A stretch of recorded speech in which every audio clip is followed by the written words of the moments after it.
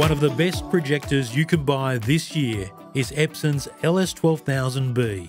That is it behind me, and that's projecting 1917 over my shoulder. More on that in a moment. There's one particular thing about how this projector puts out its light. The Epson technology is using a laser light source, but it's using a high definition panel. The high definition panel that we use has 2 million pixels, and each one of those pixels pivots on a horizontal and a vertical plane, which creates four individual image pixels. And those four image pixels make up the, the impression of a 4K projector. So you're getting that 4K viewing, but you're also getting the color and you're also getting the contrast. So you're getting everything. And it puts out a lot. 2,700 lumens of white brightness, the same for color too, for 20,000 hours at 100%, which isn't always needed. I spent a full day with the projector at Epson Australia HQ playing with settings, screens, and various media. So, this is my review. The colour engine driving the LS12000 delivers a beautiful picture thanks to full 10 bit colour processing and HDR10 Plus support. High dynamic range was good, but make sure that those ambient light levels are low for best performance when it comes to SDR or standard dynamic range, the results are absolutely outstanding. Although the out of the box experience is pretty good, when I visited my own YouTube channel so I know what the video is supposed to look like, the SDR content wasn't exactly how I would like it. The colour and contrast was too low. With no opportunity to calibrate professionally, I just eyeballed it.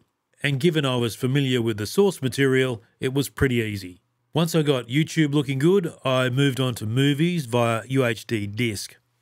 I've watched Godzilla vs. Kong before, and this is a very colour rich film. I felt I nailed the settings for this, and it looked amazing.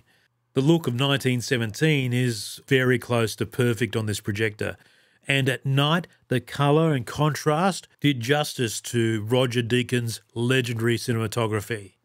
You also have options when it comes to motion easily the most frustrating issue with home entertainment systems. Normally, you would likely have frame interpolation turned off for movies, but there are times when it helps, and I'm saying this as a fan of traditional 24p. You can choose from off, low, normal, and high. Take this scene in 1917. Watch the slats as the camera moves. The top frame is running with motion smoothing off, the bottom shows the same clip with maximum frame interpolation on. Here's another example. Gravity has a mixture of intense motion and slow pans. These scenes should have been synced, but I didn't have enough time to capture each setting. Looks pretty cool though, and the black levels weren't bad either. Projectors can never match what an OLED does, for example, but this is a pretty good result. Of course, when it comes to watching sport, you want smooth action, so I watched a bit of cricket from YouTube, and as a big event projector, the LS12000 is definitely a winner. The inputs on the back support HDMI 2.1, so you can enjoy gaming at 120 frames per second, and there's eARC for audio over HDMI. When it comes to screen size, this standard or long throw projector lights up a 50 to a massive 300 inch 16 by 9 frame. But you'll need some depth in your room, 3 to 6.3 metres for a 100 inch result on the screen.